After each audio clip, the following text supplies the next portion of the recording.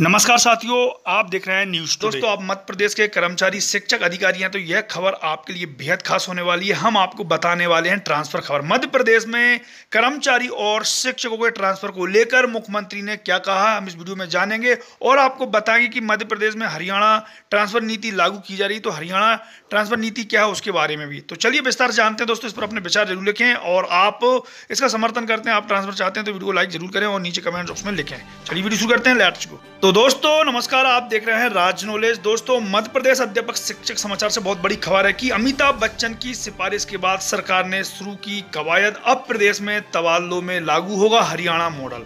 तो हरियाणा मॉडल तबादला नीति क्या है, हम आपको विस्तार से बताएँगे। आप लास्ट तक ज़रूर देखें तो चलिए विस्तार से जानते हैं। तो दोस्तों मध्य प्रदेश सरकार तबादले और पदस्थापना की प्रक्रिया में सुधार करने के लिए जल्द ही हरियाणा मॉडल लागू करने की तैयारी कर रही है। इसके लिए हरियाणा की तबादला नीति का अध्ययन किया जा रहा है। दरअसल मध्य प्रदेश में पिछले सालों में की गई तमाम कोशिशों के बाद भी तबादलों की विसंगतियों को दूर नहीं किया जा सका। है हर बार तबादले और पदस्थापना में लेन देन को लेकर सवाल उठते रहे हैं। सरकार की कोशिश है कि तबादले और पदस्थापना को कंप्यूटर आधारित कर तबादलों को लेकर होने वाले संभावित लेन देन पर लगाम लगाई जाए। उल्लेखनीय है कि अपने एक टीवी शो में अमिताभ बच्चन ने मध्य प्रदेश के ग्वालियर में पदस्थ एक पुलिस आरक्षक पति पत्नी को एक ही स्थान पर पदस्थ किए जाने की सिफारिश मुख्यमंत्री श्री शिवराज सिंह चौहान से की थी।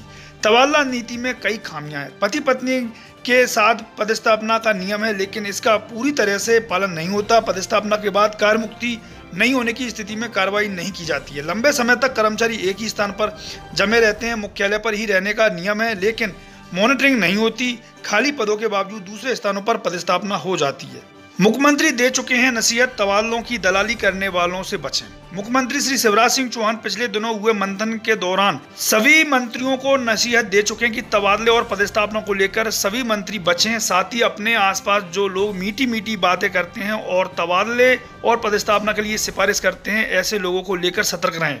ऐसे लोग तबादले और पदस्थापना की सिफारिश कराते हैं और बाहर निकलते ही कहते हैं, काम हो गया। इसमें बदनामी मंत्री और सरकार की होती है। पिछली कमलनाथ सरकार तवालों को लेकर हमेशा भाजपा के निशाने पर रही थी। यही वजह है कि सरकार अपने मंत्रियों को नसीहत दे चुके हैं, ताकि तबादले और पदस्थापना को लेकर सरकार पर उंगलियाँ ना उठे।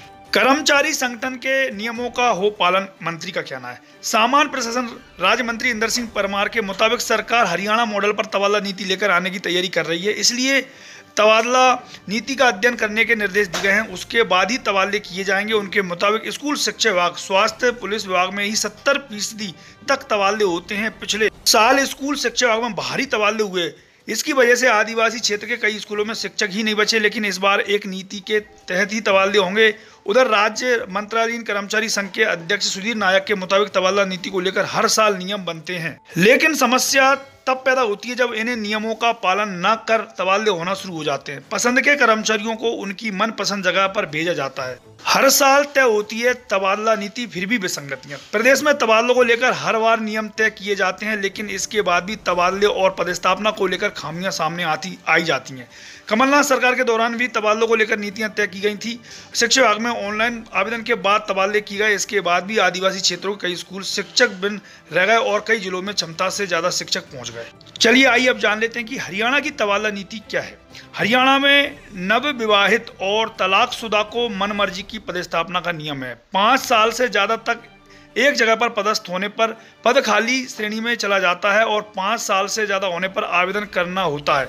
आवेदन नहीं तो कहीं भी पदस्थापना कर दी जाती है। 300 से ज़्यादा पद वाले विभागों में ऑनलाइन तबादला होता है। पूर्व तबादलों की ट्रैकिंग होती है। लंबे समय से जमे कर्मचारी अधिकारियों को सबसे पहले हटाया जाता है।